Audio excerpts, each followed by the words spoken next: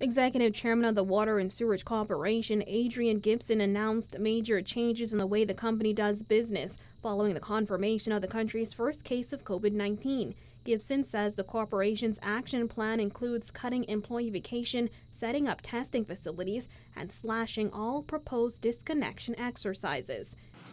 All current WSC vacation is cancelled. No applications for vacation will be signed off on during this period. All WSC staff currently on vacation will be recalled. While he did not say how many staffers would be impacted by this new policy, he said the move comes into effect immediately and will last until at least the end of April. Another important component of the corporation's COVID 19 response is to ensure the availability of water across the country, especially given the expected sharp increase in usage over the next several weeks.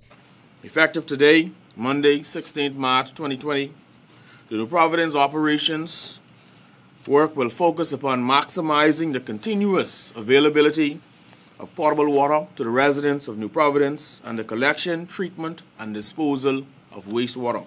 As for its current water levels, Gibson said this. As it stands, tank levels, that is water storage tank levels on New Providence, are normal. Storage capacity in New Providence is nearly 40 million gallons. We have storage to maintain the island in the event of anything.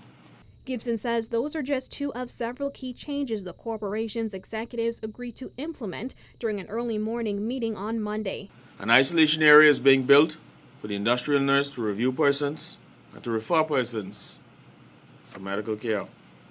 She is also in direct contact with the Ministry of Health, making arrangements for staff with all medical facilities and standard protocols are in place. Gibson says they are also in the process of obtaining infrared thermometers to test employees. As for those staffers on the front lines, Gibson says they will have special safety protocols. He added that the corporation has also suspended its summer student program. He did not take questions during the press conference. Reporting for Guardian News Network, I'm Jasmine Brown.